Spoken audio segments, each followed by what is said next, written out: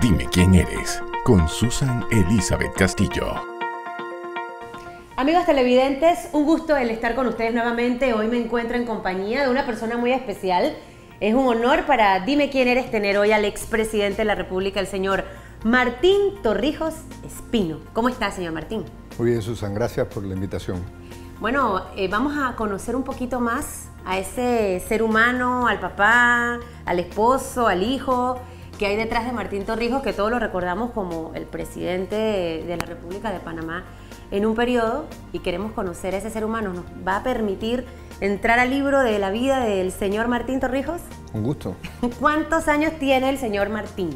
Tengo 51 años de edad. 51 años, ¿recién cumplidos o...? Cumplo ahora en julio. Ahora, este, este, mes, el 18. Ya cumple 52 entonces, o 51. Cumplo 51.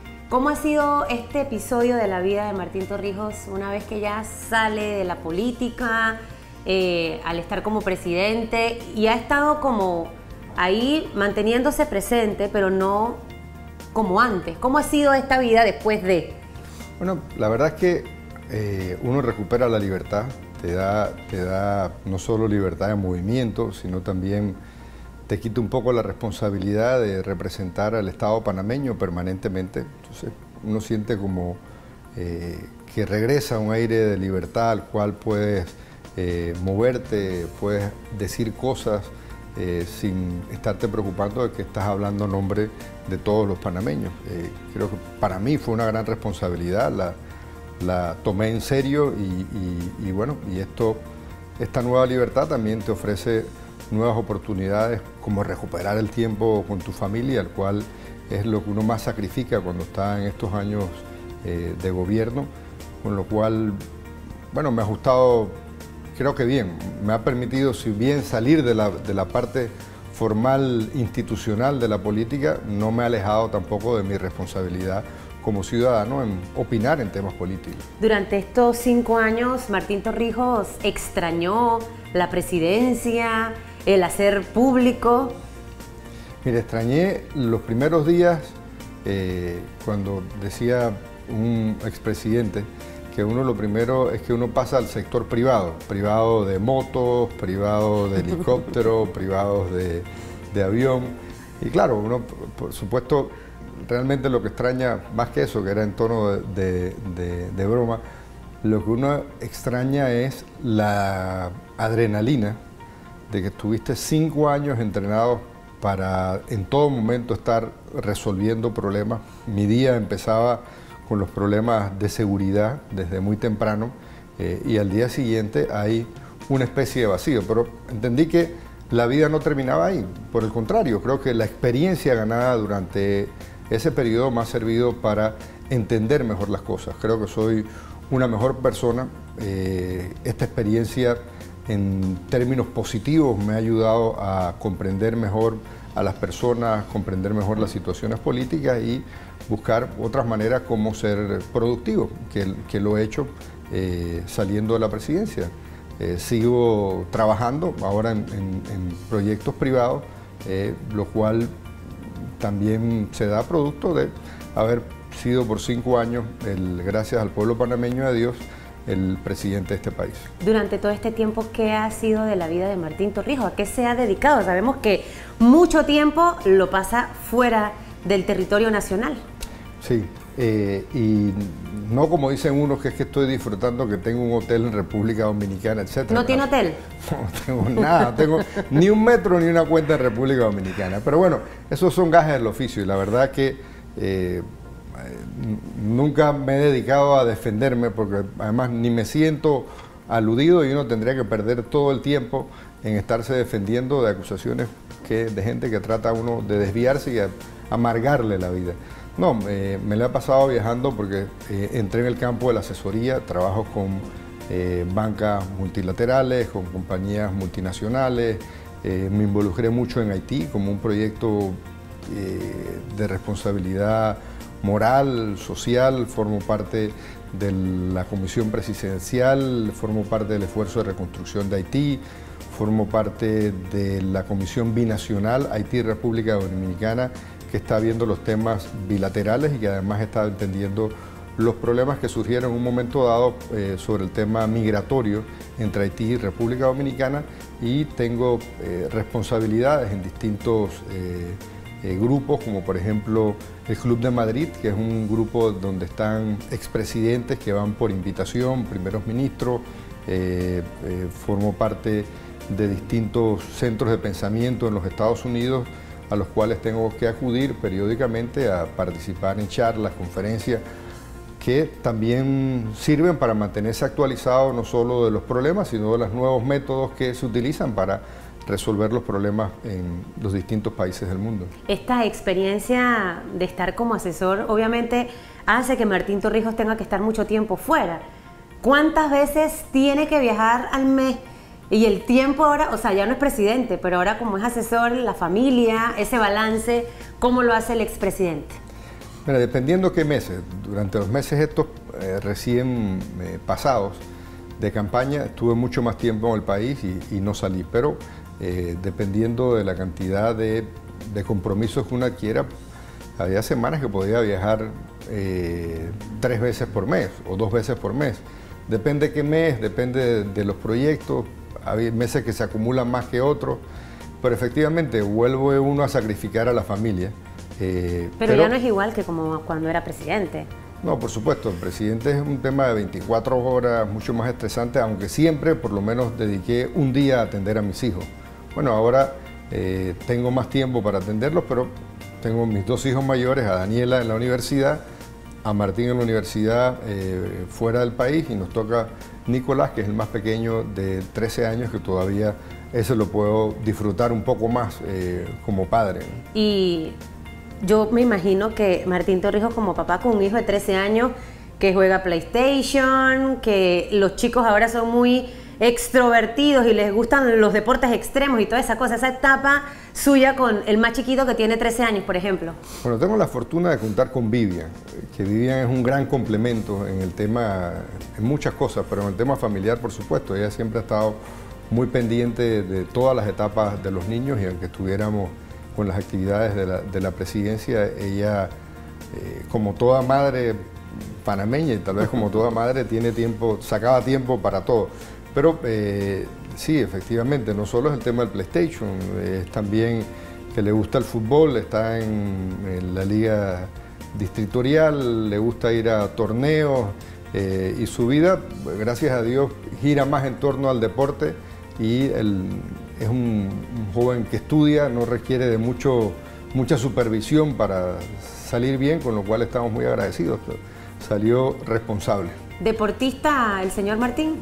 Eh, sí, me gusta el deporte. ¿Y hace deporte? Hago ejercicio. Eh, me gusta eh, correr, mantenerme, tratar de mantenerme en forma. No siempre tengo el mismo peso, pero bueno, en fin, es ese esfuerzo constante de tratar de mantenerse eh, en forma y, combinar pues, todos los aspectos de la vida diaria. ¿Cuando estaba en la presidencia estaba más delgado o más sudito de peso o ahora?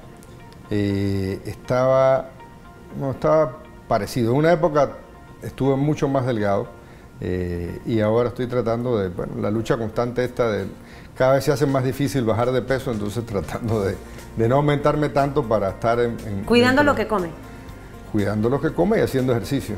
Bueno, vamos a hacer una pausa, señor Martín. Al volver, amigos televidentes, vamos a conocer un poco más de la vida del expresidente, vamos a saber si sabe cocinar o no sabe cocinar, qué cosas le gusta hacer en sus tiempos libres ahora que ya pasó a mejor vida. Dicen que ya después que se sale de la presidencia hay una etapa muy bonita de recuperación familiar y personal. Ya regresamos. Estás viendo Dime quién eres. En breve regresamos. Esto es Dime quién eres. Estamos de vuelta.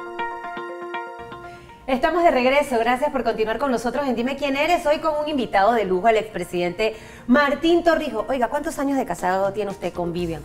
24. 24 años. 24 años. ¿Qué se hace para durar tanto tiempo las parejas jóvenes? Porque todavía usted está en la etapa esa de la media juventud. ¿Cómo se hace para, para que un matrimonio dure tanto? Usted estuvo en, en la presidencia, son cosas a veces difíciles de manejar.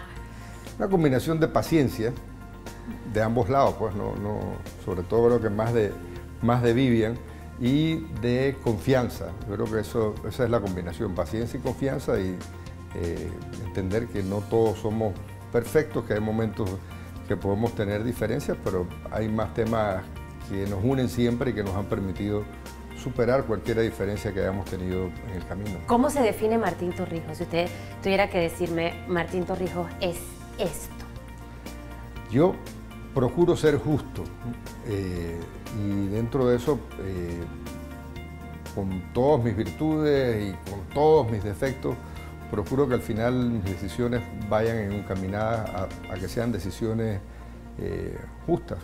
No, no, no, creo que siempre acierte, por supuesto, pero sobre todo esa es la intención y, me queda también mucho de el recuerdo de mi padre, que tuvo un papel en, este país, que lideró este país y que creo que nos enseñó algo y sobre todo el que era un hombre que actuaba de acuerdo a lo que pensaba. Eh, y eso es muy difícil de lograr, pero esa es la inspiración que siempre me ha llevado, al igual que eh, recuerdo de mi padre que a pesar de todas sus ocupaciones, siempre tuvo tiempo para nosotros. En mi caso particular, para mí, eh, fue, tuvo un trato eh, siempre eh, muy fluido, muy cariñoso. difícilmente, no recuerdo, o tal vez muy pocas las ocasiones cuando lo llamara y no me contestaba la llamada. Y estoy seguro que estaba muy ocupado, pero siempre guardó tiempo y estaba pendiente de lo que ocurría con, sus hijos, lo que ocurría conmigo en este caso. ¿Usted qué siente que heredó de su padre? A veces los hijos, yo saqué el carácter, o yo soy pasivo, por mi papá era así. ¿Qué cosas heredó Martín Torrijos de general? Torrijos? La paciencia, eh, la paciencia y sobre todo tratar de entender a las otras personas. General Torrijos tenía una gran facilidad, eh, y mi padre tuvo una gran facilidad de, eh, con muy poco de conocer a las personas, saber cómo eran. Y al final terminaba diciendo hay que trabajar con la parte positiva de las personas, porque todos tenemos una parte negativa y positiva, pero para él siempre era más importante lo positivo. Y hizo muchos esfuerzos para crear, eh, para que uno entendiera de que de cada experiencia, por difícil que fuera, siempre había una lección positiva. Y eso me recuerdo algunos castigos que, me gané. Eh, ¿Lo castigaron? Sí, claro. ¿Qué eh, castigo le pusieron? recuerdo una vez que por andar de, en la época de juventud, andar ahí de tal vez de pasados en, la parte de fiesta, me mandaron una semana a Coclecito a trabajar. Eh, y después de una semana con una serie de requerimientos que había puesto mi padre para que cumpliera. Entre esos tenía que dormir en el campamento, comer en el campamento, no podía ir a la casa, que tampoco era una casa de lujo que tenía, pero tenía algunas más facilidades que las que tenían las personas que estaban trabajando en el proyecto Coclecito. Cuando lo voy a ver, entonces me dice, bueno, ¿qué tal? Y comienzo a darle todas las quejas, desde la comida, recuerdo que era un menú muy poco variado, que había mucho de arroz y huevo de desayuno, almuerzo, cena. Entonces al final se echa a reír y me dice, mira, si no te hubiera castigado, no hubiera sabido que necesitamos un cocinero y variarle el menú a las personas que están trabajando aquí. Entonces siempre encontró algo positivo. Yo creo que eso es algo que, eh, trato de aplicar, de que con, paciencia comprender a las personas eh, y sobre todo encontrarle esa lección positiva a la vida que nos enseña dentro de cada etapa, de cada reto. Escuchándolo hablar de esa experiencia de niño o de joven, ¿cómo era Martín Torrijos? ¿Se portaba bien? ¿Se portaba mal? Era estudiante de cinco en escuela, no había queja. Su mamá eh, era educadora. O sea, ¿cómo, cómo, ¿cómo fue esa etapa? ¿Y las mamás educadoras son a veces muy estrictas? Mi mamá era muy estricta, la verdad. Era, era eh, bueno, y se lo agradezco porque eh, mi mamá, mi madre Senia, fue muy estricta, lo cual ayudó a tener cierta disciplina. Pues. Y como todo, tuve una etapa, sí, siempre salí bien en la escuela, sobre todo en la primaria, en la secundaria. Bueno, eh, fue una juventud normal, eh, donde, donde había combinación de estudios, donde había combinación de diversión, donde efectivamente luego de la muerte de mi padre hubo un periodo de desorientación. Eh, perdí a mi padre a los 18 años, me demoró un par de años en volverme a encontrar, a volver a encontrarle perspectiva a la vida, a tener esos deseos de, del estudio, superación, que él siempre me planteó, además no, fue un hombre que, acumuló riqueza, nos enseñó que la plata no era, era para lograr objetivos, no el objetivo de la vida era acumular riquezas, porque él nunca lo hizo.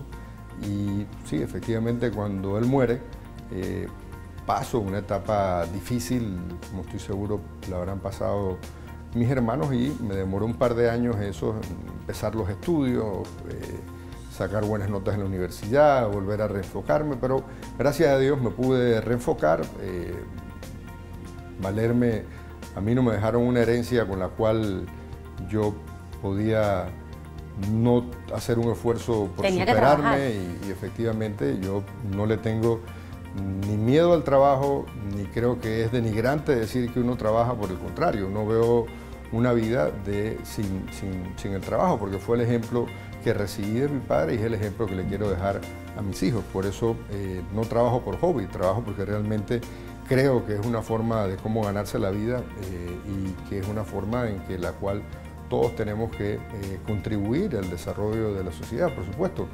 Trabajar para para, que te vaya bien, trabajar para lograr eh, eh, no solo éxitos personales, sino también éxitos para, para tu familia, para que puedan vivir pues, en, condiciones eh, dignas, en fin, yo creo que esos valores de trabajo, de honestidad que me inculcó tanto mi padre como mi madre. Como repito, mi madre sí fue estricta, es así. Le dio un par de correazos al expresidente, en algún bueno, momento. le tengo que agradecer lo estricta que fue. No voy a recordar incidentes individuales, pero eh, mi madre fue, fue la, la, que se encargó de la disciplina dentro de mi crianza. Fui, fui hijo único con, mi madre. Eh, eh, con lo cual ella siempre tuvo la responsabilidad de la disciplina y lo cual se lo agradezco. O sea que Vemos que la mamá del expresidente influyó mucho en lo que es hoy en día usted, su personalidad y la responsabilidad y todo, y todo eso.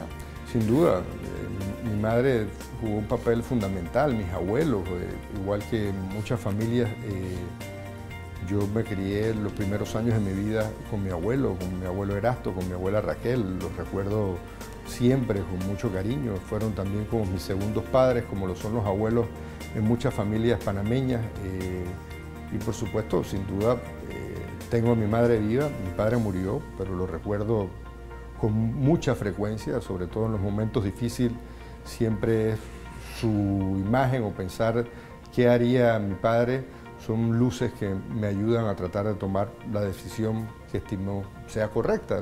Lo mismo en la relación de mis hijos, tenemos una relación muy cercana, los disfruto mucho. Eh, bueno, ya Martín está en la universidad, está afuera, pero en los momentos que estamos juntos eh, son momentos de verdad de, relajación, de, una amistad, de una relación respetuosa, pero sin duda cercana. Me, siento muy cercano a, mis hijos, me siento muy cercano a Daniela, admiro mucho a Daniela. Daniela llegó a, alumbrarnos, a darnos una luz en, nuestra vida, a darnos una perspectiva diferente y sobre todo a demostrarnos que no hay nada imposible. Los logros de Daniela son logros admirables para todos nosotros. Cuando uno está cansado, de repente se siente que la lucha está difícil y mira a Daniela, hasta ahí llegaron las quejas.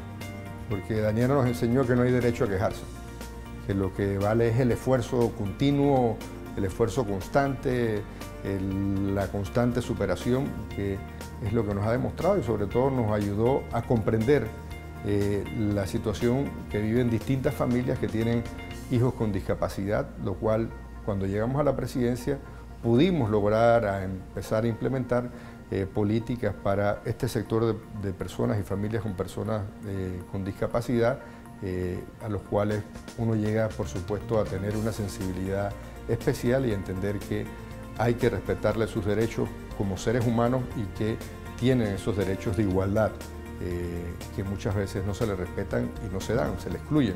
Y esa lucha por la inclusión fue la lucha que Daniela nos inculcó, nos enseñó y lo cual le agradecemos infinitamente a Dios y al ejemplo de lucha de ella misma.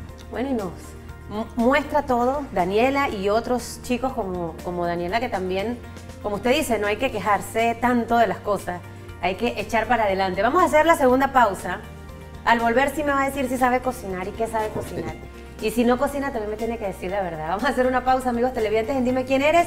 Y regresamos con la parte final, hoy con el expresidente Martín Torrijos. Estás viendo Dime quién eres. En breve regresamos. Esto es Dime quién eres. Estamos de vuelta. Estamos de regreso ya en la parte final de Dime quién eres hoy con el expresidente Martín Torrijos. ¿Sabe cocinar, sí o no? Sí sé cocinar. ¿Qué sabe cocinar? Ya yo creo que por Forfi he quedado especializado en barbacoas. Porque obviamente cuando ah, comparto algunos platos con mis hijos, nos encanta eh, de repente un domingo llegar y me dicen, ah, hacemos comida china. Entonces todos participan, Nicolás, Daniela, Martín, Vivia, metemos la mano y hacemos un, arroz ahí. Eh, de combinación. De combinación. Pero efectivamente creo que la parte esta de, hacer las barbacoas me la, me la dejan más a mí Tal vez no es porque sepa más, sino porque al final de cuentas es estar ahí en, la parte caliente es lo más pesado. Bueno, y claro, entonces no, no, papá, tú lo haces bien, Vivia, no, no, tú eres un gran, un gran cocinero barbecue, yo creo que soy el que aguanta más calor ahí y que prefieren que lo haga yo que ellos, pero en fin, sí cocino. ¿Qué disfruta hacer el señor Martín en sus tiempos libres? En los pocos tiempos que, que le pueda quedar, ¿qué cosas le gusta hacer? ¿Ir al cine, ir a la playa, montar caballo? Bueno, me gusta la playa, la verdad. Me gusta la playa y me gusta compartir eh, con, mis hijos. Creo que eh, le debo tiempo, estoy en una deuda con ellos y trato en el momento que pueda. Ya es difícil porque tienen todos intereses, ya tienen eh, su vida propia, pero sí disfruto estar con mi familia, compartir en familia en la playa, pero me gusta, me gusta el mar, me gusta pescar. Tengo un boto chiquito no un yate, tengo un bote de 30 pies con el cual eh, disfruto, disfruto mucho pescar y estar eh, en el mar, me relaja. ¿Y pesca?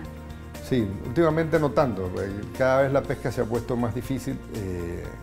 tenemos ya hace más de, como en el año 2000 teníamos, compramos una propiedad en, la playa y ahí vamos y salgo a pescar ahí alrededor de Farallón. Cada vez hay que irse más lejos, hay problemas de, pesca cerca, pero aunque no pesque, que muchas veces salgo y no traigo nada, eh, disfruto mucho eh, el mar. Realmente para mí el mar me relaja y me disfruto mucho cuando todos mis hijos están en la casa, incluso cuando traen sus amigos a la casa y que podamos todos jugar, conversar. A ellos les gusta mucho el deporte, sé que tenemos una canchita pequeña ahí en el patio de, fútbol, jugamos voleibol, eh, y bueno, en fin, nos me encanta jugar con ellos, compartir en, la piscina y sobre todo el tiempo que uno le pueda dedicar a, los niños, a la familia. Vamos a hacer unas preguntitas al final.